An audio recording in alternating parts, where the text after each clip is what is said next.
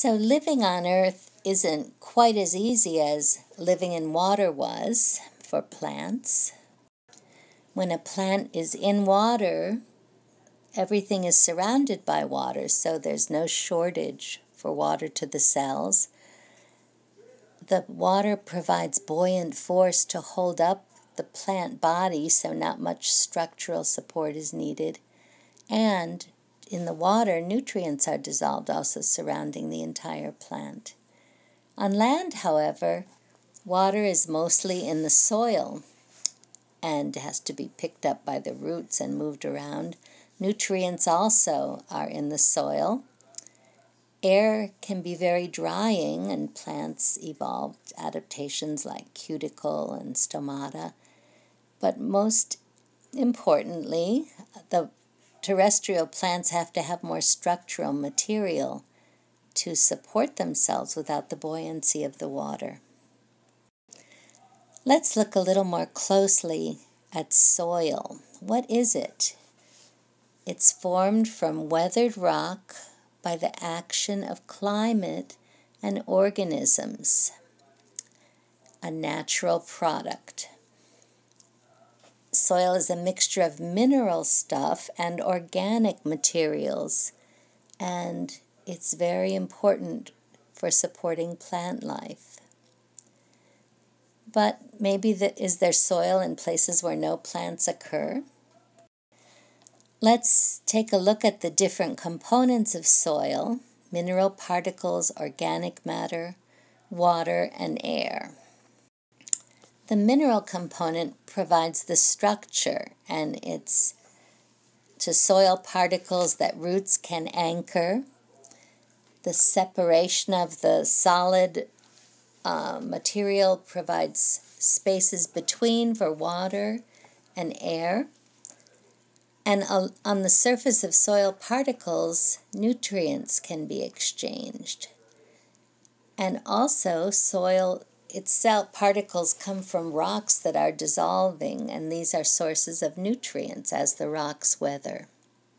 What about the organic component? It basically comes from formerly living stuff that's died.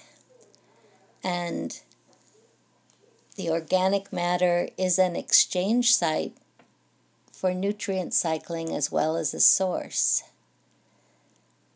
Organic uh, components decomposing change and affect the soil structure, the amount of space between the particles, and how much water it can hold. The more organic matter, the more it, the soil holds on to water. And most importantly, the organic part of soil is an energy source for decomposers, microbes, and other small organisms that break things down. The water component of soil is very important for carrying nutrients into plants and once into plants, it hydrates the cells and allows things to move within the plant. So, water in the soil fills the spaces between the particles and it also affects the air content. A very saturated soil can't have very much air in it. And for plants, it's very important to have some air in the soil because they need oxygen for their aerobic metabolism, the cells of the roots as well as the above ground parts of the plant that have air surrounding them. And it's carbon dioxide from this from their own metabolic action of respiration that affects the pH of the soil as well as the weathering of the rocks. Air, as you know, is mostly nitrogen gas, and that nitrogen is important for the plants and other organisms that can fix it thereby making it more available to everything else that can't use atmospheric nitrogen. And also, methane from methanogens is a source of carbon that can be fixed, as well as carbon dioxide that provides carbon. Soil is continually being produced and changing. Rocks everywhere are weathering with the actions of rain and freezing. So, physical factors such as change in temperature and affect the internal tensions in the crystal in the structure of the rocks, and they um, dissolve from the outside. Biological forces too work on the rocks and the non living components. The plant roots may um, make the surrounding area more acidic and rocks dissolve more easily, as well as little animals under the ground grazing and decomposing organisms too. And then there are chemical things that make soil change. Different act- acids, carbonic acid, nitric acid, and sulfuric acid. And plants themselves, as I mentioned, secrete hydrogen ions, making the environment more acidic.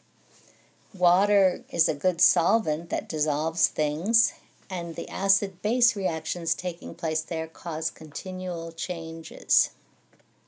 So, soils differ from place to place around the world, and the soil that is there is dependent on what are called state factors climate, the organisms present, the topography, the parent material or the rocks and minerals that are around there, and also time.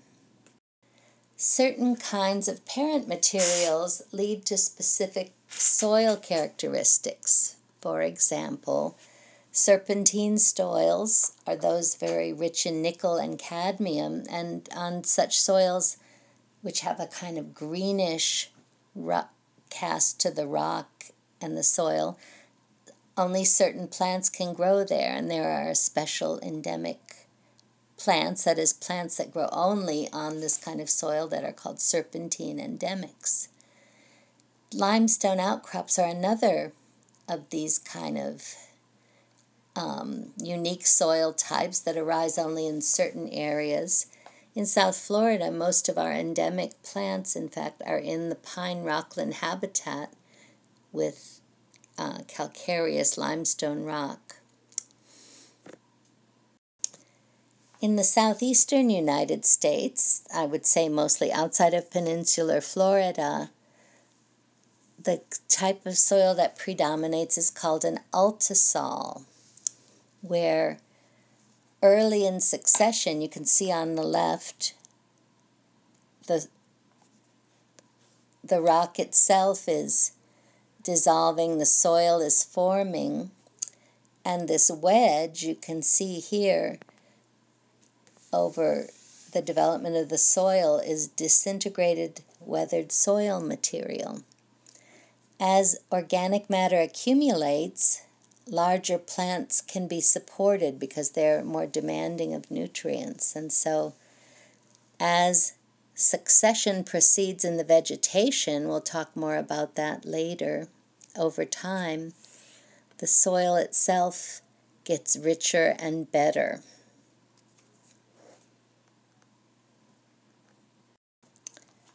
Prairies have a much simpler soil. These are called loess, and often they're a little bit sandy. And then, as plants grow longer and longer and dead material accumulates, there's, there's more organic matter, and the soils become quite fertile.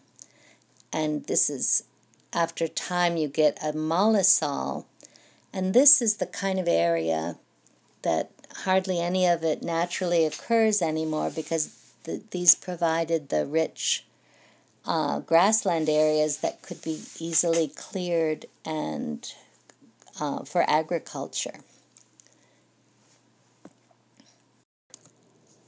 The standard method of discerning what type of soil is present in an area is digging a soil pit. And in a class you take in um, field ecology or plant ecology at a biological station. When I was an undergrad, I took a class like this. We'd go to different places and dig a huge soil pit almost like a grave, you know, five or six feet deep, six feet long, a couple feet wide, so that you could be inside digging it out. And you make the side very smooth and straight, and then you can see the profile, the soil profile, the different layers appear. Basically, there are three, well, four layers. On the very top, the organic layer, the O horizon, then the A layer, in which the organic matter is accumulating as uh, water goes through the top layer. And then other smaller materials accumulate further down in the B layer, the B horizons. In the C layer, there are mineral particles and small rocks, and then at the very bottom is the bedrock. And you can see on the left each of the horizons may have several parts in it. So the relative depth and color of these layers is characteristic of different parts of the world. And when you take a soils course, you learn all the details. Here's another profile with the reminder that soil doesn't live alone. There's a root of a plant going from the top through the organic horizons, the O horizons, into the A horizon. And usually there is a boundary layer between the organic, I mean, the O horizons and the A, where you have a fine layer of raw humus in certain types of soils, anyway. The A horizon is lighter in color than the B horizon, where certain minerals accumulate. In the case of this one, it's yellow and to reddish brown. And then in the lower B horizon, you see another change in color where more, there is more sand.